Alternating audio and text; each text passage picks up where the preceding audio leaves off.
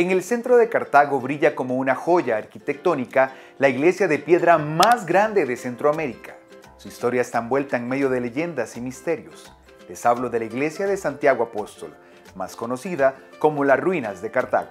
Hay un criterio un poco distorsionado de creer que estas ruinas son coloniales y no lo es. Estas ruinas fueron diseñadas por un alemán, Francisco Kurze, en 1862.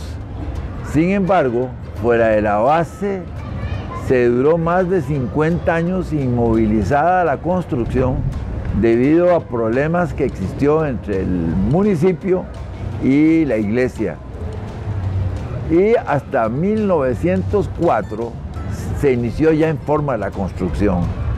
De 1904 a 1910 prácticamente se levantó toda esta estructura eh, visible y que al venir el terremoto el 13 de abril de 1910 y otro el 4 de mayo, dos terremotos en menos de un mes, quedó inutilizada la construcción y quedó eh, en la mal llamada ruinas, que en realidad es una iglesia inconclusa porque nunca, nunca fue iglesia, ¿verdad?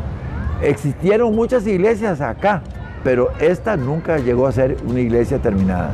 Aquí se, se popularizó de que hubo un crimen en esta iglesia de un sacerdote que mató a su hermano por, eh, por motivos de